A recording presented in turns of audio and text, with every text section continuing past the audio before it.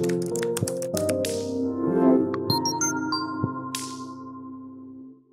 you know that God wants you to be physically healed? That it's His will for you to be well physically every time and all the time? I'm glad you're a part of tonight's service. We're going to dig into what the Word of God says about your physical healing. As we talk about this uh, subject of physical healing, there are several views that uh, people take toward the subject of physical healing. And uh, we're going to look at each one of these views and try to respond to them with the scriptures, with the Word of God. But the bottom line is, God is interested in your physical healing.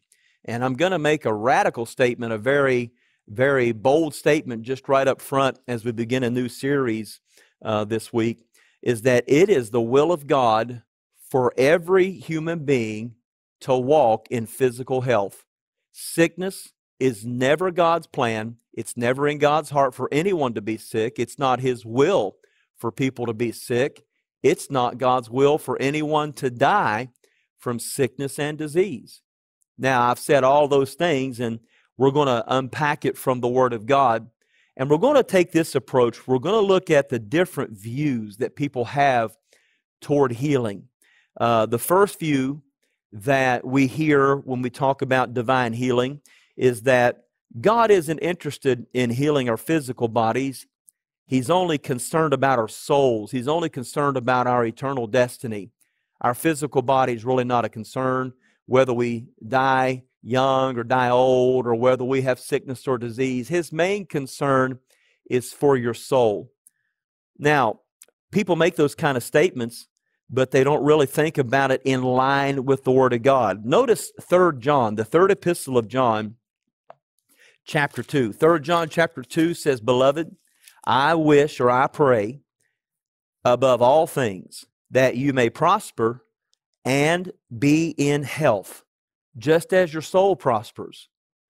Now, this is the Apostle John writing to uh, a church leader called Gaius in a particular church, but we could also say this is God speaking through John to each one of us.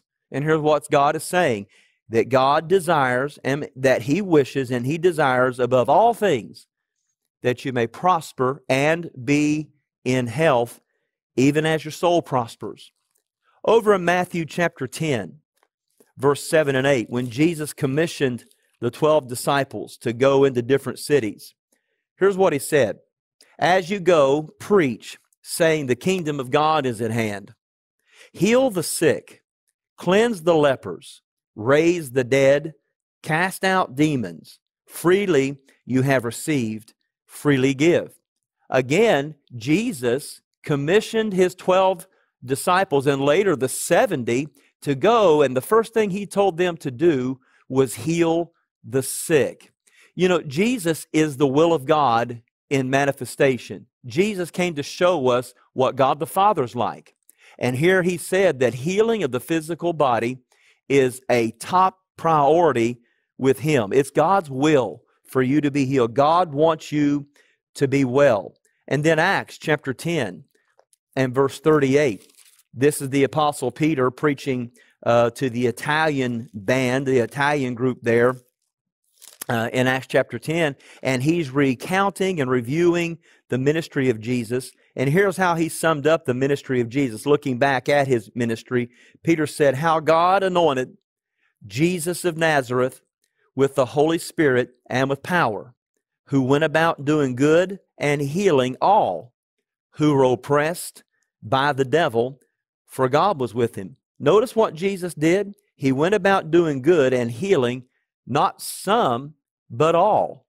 If Jesus is the will of God in manifestation, if he came to reveal God's will toward you and me, right here, when he healed all, he is declaring it's God's will for all to be healed. So, this first viewpoint is clearly not scriptural. God is interested in our healing, He is interested in the health of our physical bodies.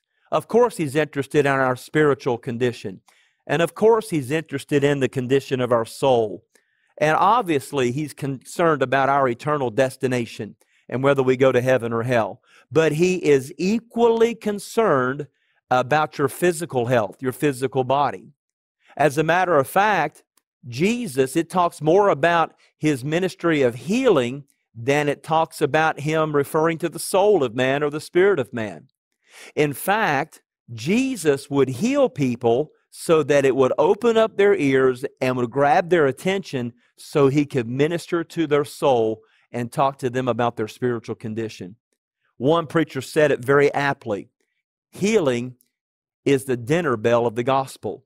Where people are being healed of their sicknesses and diseases, they are drawn to learn more about the goodness of God. They're, they're drawn to learn more about God concerning their soul and their spiritual condition. No, no, I believe it is. God is very concerned about our physical condition. The second viewpoint toward healing, which I think personally, having been in the Appalachia area and actually uh, several states, lived in several states, among the church, the modern day church, this second viewpoint is probably the most prominent viewpoint.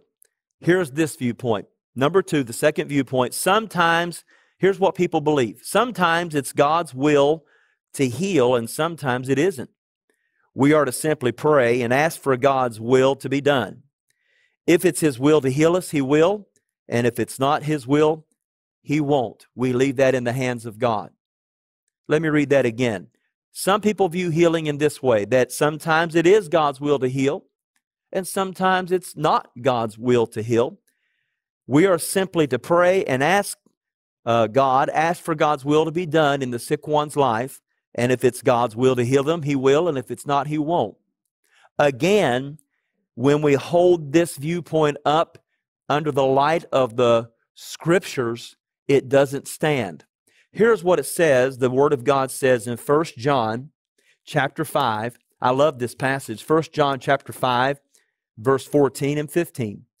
Now this is the confidence that we have in him that if we ask anything according to his will, he hears us. And if we know that he hears us, whatever we ask, we know that we have the petitions that we've asked of him. Somebody said, See, that's exactly right. We're to pray and ask if, for God's will to be done. No, that's not what the Apostle John said here. Let's break it down. This is the confidence that we have in him. If you're born again, you're in him, and this is the confidence that you have. What is it? That if we ask anything according to his will, he hears us.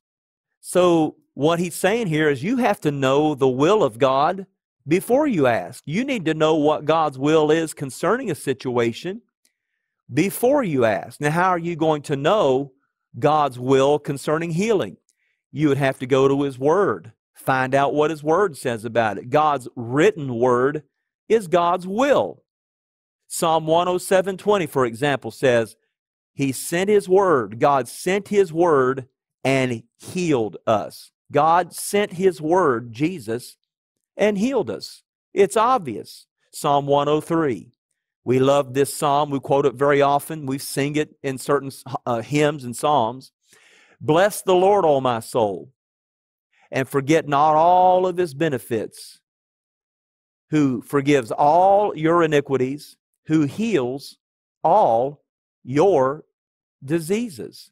It's as much God's will for you to be healed of all your diseases, according to Psalm 103, as it is for you to be forgiven of all your iniquities. Actually, the truth of the matter is, on the cross, when Jesus died on the cross, he not only took the sin of man, he also bore the sicknesses of the human race. Somebody said, well, if Jesus has taken and borne the sicknesses of the human race, how come there's so much sickness and disease? Why are the hospitals full of sick people? Well, I'll answer that question when you can answer this question. If Jesus took all of the sins of the world when he shed his blood on the cross, why are there still people that are called sinners? Why are there still people who haven't accepted Jesus? The bottom line is what God provides at the cross, it's up to you and your free will to receive it. God has already done all He can do about your forgiveness. Now He's waiting for you to accept that forgiveness. God has done all that He's going to do about your physical healing. But it's up to you to accept the healing that Jesus paid for at Calvary's cross. Amen.